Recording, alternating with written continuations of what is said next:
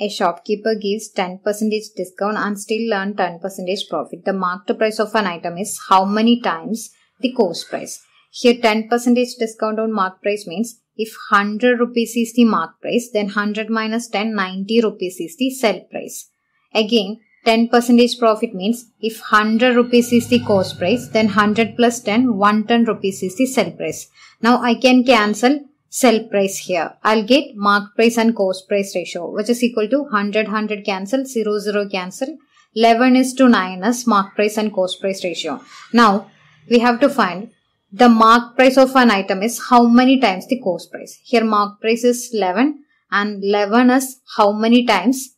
9. So 11 by 9 into 100 is your answer. 9 goes 1 time in 11, remaining 2. 9 goes 2 times in 20, remaining 2. 9 goes 2 times in 20. So option 3 is your answer. 1.22 times. So mark price is 1.22 times cost price.